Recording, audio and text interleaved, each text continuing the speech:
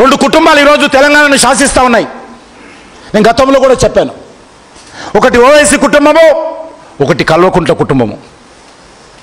ఈ రెండు కుటుంబాల నుంచి తెలంగాణను మనం రక్షించుకోవాల్సిన అవసరం ఉంది. బంగారు తెలంగాణ అన్నారు ఈరోజు. కానీ ఈరోజు బంగారు తెలంగాణ ఎక్కడుందని అడుగుతా ఉన్నాను.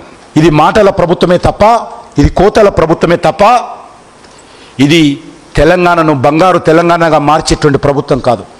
తెలంగాణ కోసం ఆత్మ బలిదానం చేసుకున్నటువంటి పదిహేను వందల మంది అమరవీరుల ఆకాంక్షలకు అనుగుణంగా పనిచేసేటువంటి ప్రభుత్వం కాదు ఇది. రానున్న రోజుల్లో తెలంగాణ ప్రజలు నరేంద్ర మోడీ గారి నాయకత్వంలో భారతీయ జనతా పార్టీని ఆశీర్వదించాల్సిందిగా నరేంద్ర మోడీ గారి నాయకత్వంలో దేశాన్ని మరింతగా ముందుకు తీసుకునే విధంగా భారతీయ జనతా పార్టీకి అండగా నిలబడాల్సిందిగా దేశ ప్రజలు రాష్ట్ర ప్రజలందరూ కూడా ఆ దిశలో ఆలోచన చేసి ముందుకు రావాల్సిన కోరుతా ఉన్నాను. కాంగ్రెస్ పార్టీ పూర్తిగా కనుచూపులో కూడా మళ్ళీ మరి కనిపించేటువంటి ప్రయత్నం లేదు.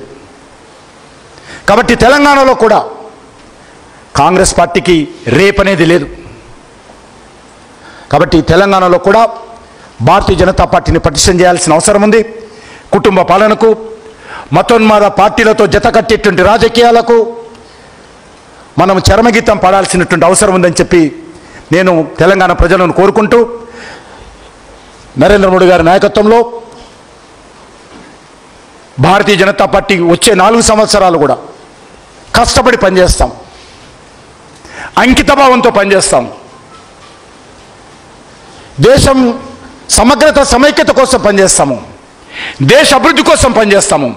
దేశ సమగ్రత కోసం పనిచేస్తాము. చిత్తశుద్ధితో పనిచేస్తాము. ప్రతి న్యాయ పైసకు లెక్క చెప్పే విధంగా నీతి నిజాయితీతో పనిచేస్తాము. కాబట్టి విశ్వాసం పూర్తిగా నరేంద్ర మోడీ గారు ప్రతి క్షణము ప్రతి నిమిషము ఈ దేశం కోసం దేశ ప్రజల కోసం ఆలోచన చేస్తారు.